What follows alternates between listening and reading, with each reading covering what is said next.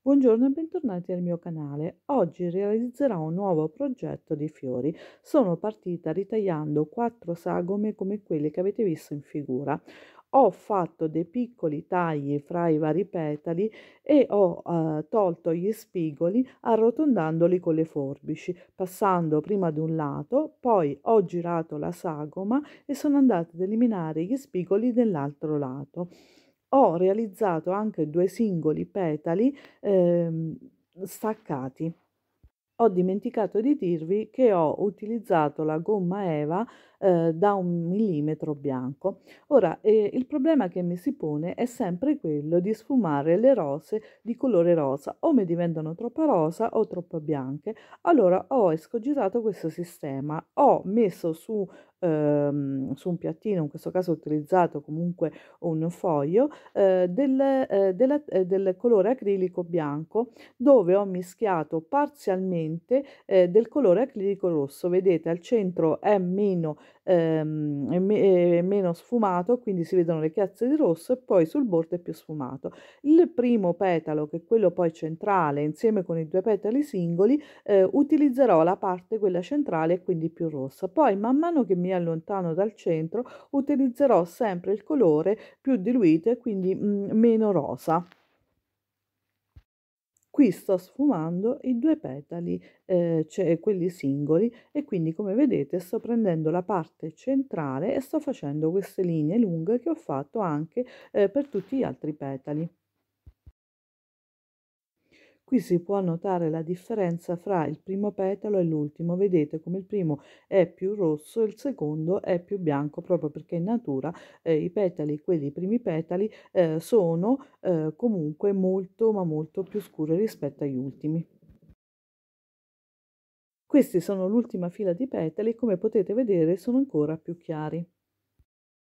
Il pennello che ho usato è un pennello a punta, come potete vedere da questa foto ho preso un pezzettino di, eh, car- di carta stagnola e gli ho dato questa tipica forma a goccia all'insù.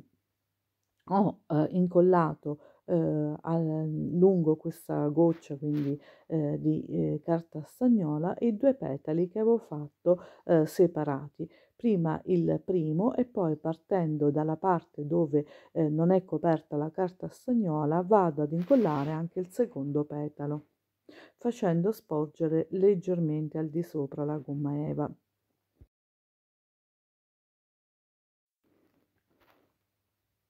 Ho incollato eh, questo mio il centro della mia rosa eh, sul primo, eh, sui primi petali, quelli che avevo sfumato di colore più scuro, con, sempre con un po' di colla a caldo.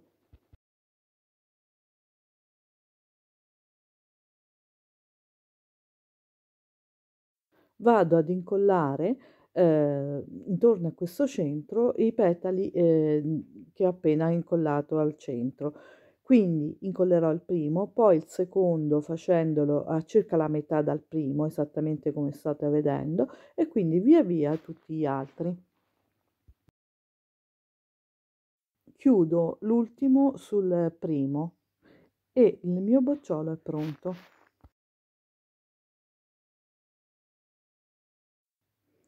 Passo le punte sul ferro caldo e le vado a piegare all'indietro.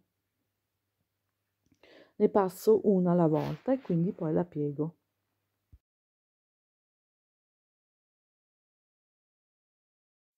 Passo le altre tre sagome eh, sul ferro e le vado a piegare all'indietro prima ancora di posizionarle eh, sulla mia rosa perché è più comodo.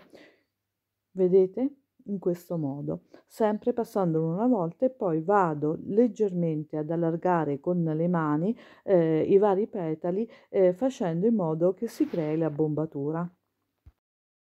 Metto un po' di colla al centro della mia rosa e vado ad incollare anche la seconda fila di petali Vedete, parto da dove ho finito e incollo il petalo successivo a circa 3, lasciando circa tre quarti del petalo eh, sottostante.